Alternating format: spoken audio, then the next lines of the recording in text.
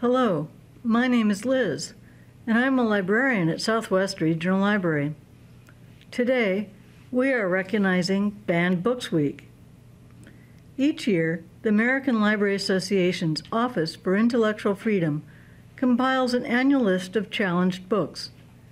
These are books that certain groups and individuals might want removed from schools or public libraries due to their own beliefs or personal values.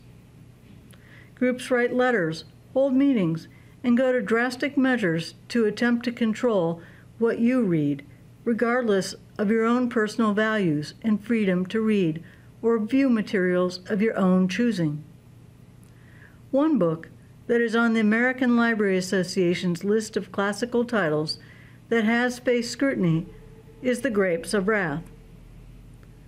The Grapes of Wrath by John Steinbeck is set during the Great Depression and Dust Bowl and centers on a family of poor tenant farmers, the Joads, that lose their jobs, their farm, and are evicted from their home during that time of economic and ecological disaster. Faced with starvation, the Joads, along with 2.5 million others from Oklahoma, Kansas, Texas, Arkansas, and other farming communities, set out for California to seek a better life.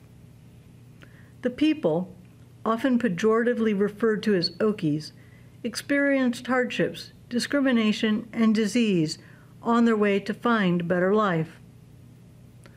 Although The Grapes of Wrath is a fictionalized account of that time period, Steinbeck, a journalist, used actual journals and other first-hand accounts of this when writing the story.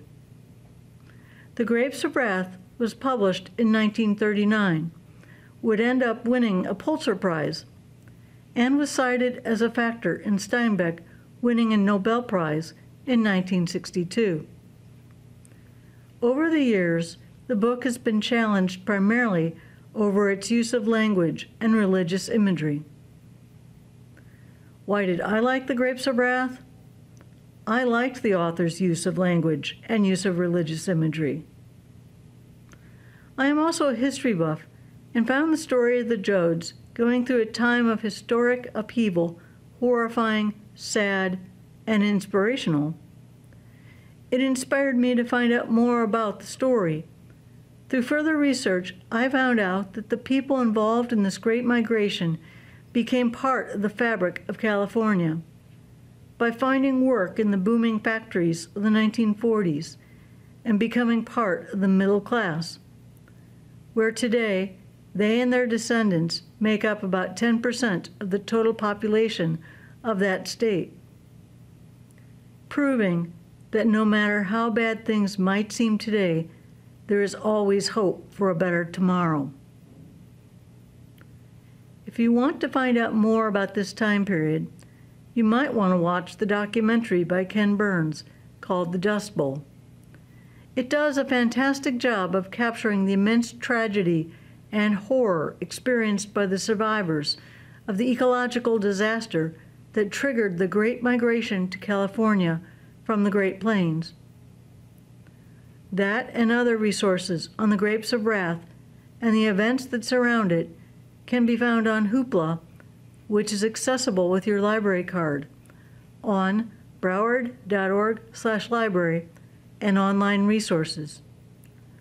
Or for help accessing this information, call 954 357 6580 and we will be happy to assist you.